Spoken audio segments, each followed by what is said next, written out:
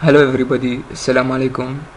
Today guys i want to share with you uh, my top 5 medical apps that are using them in my medical career. So firstly i want to speak about my favorite apps that are using it it is medical dictionary. This app it can use it for search about any terms that you like to search about it or have a small or short view about it. For example we want to search about uh, let's take herpes as example. So you can see it is giving you a small and short view about it and will be like benefit for you and I hope it will be helpful for you.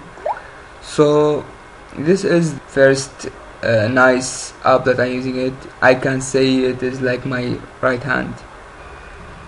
The second one that I want to speak about it is called iTriage this one is the most benefits Android app that I ever seen. It is have a huge information about many cases and uh, symptoms and drugs by entering on this icon you can see have many sections for example the symptoms also the medication also facilities the places of hospitals for example. If you enter the symptoms you can choose the gender after that you choose the place of the pain example on the leg and here you can see many the common things and the, like pains or like for example you have the knee pain thigh pain. Also by by backing to the main menu we can see all the medication many important drugs. Anyone you can write anyone you like and search about it. It will give you a small information about it and side effect and when you use it the third app in my top 5 medical apps I can say it is uh, Medscape. This one I think it is very common but using between medical student and it have very much information about many diseases in case if for example you want to take a deep view from here you can search about what you want. Let's take like for example hepatitis C.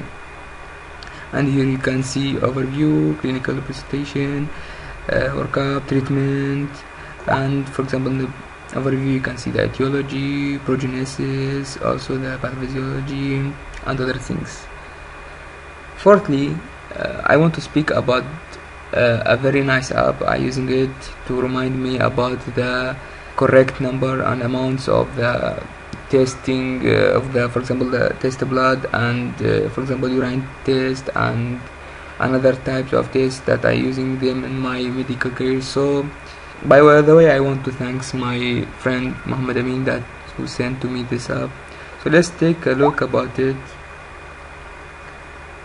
Uh, it called the quick laboratory reference and for example you can see here the blood test uh, also the toxicology the genetics. For example if we go to the blood test you have you can see now uh, the for example the complete blood count and you have see the erythrocyte the white blood cells the hematocrit and these amounts. I like this app very much and hope you enjoying using it. End of my list. There is the human anatomy atlas that give you a full information about the human body anatomy. And it is totally free uh, but it is size 1.12 gigabyte. I hope this video will be helpful for you in your medical career. So good luck and see you later, guys. Ma'as